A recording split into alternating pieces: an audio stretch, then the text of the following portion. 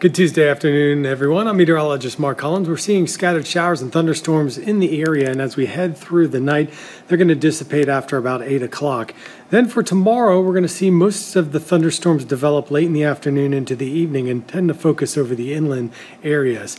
Tomorrow's forecast will be much like today, only a slight shift to storms away from the coastal spots. And over the next couple of days, the heat will start to break mainly into the lower 90s instead of the warm mid to upper 90s like we've been seeing. And we'll see most of the activity cover the inland areas with a slight uptick in our rain chances as we head into the weekend.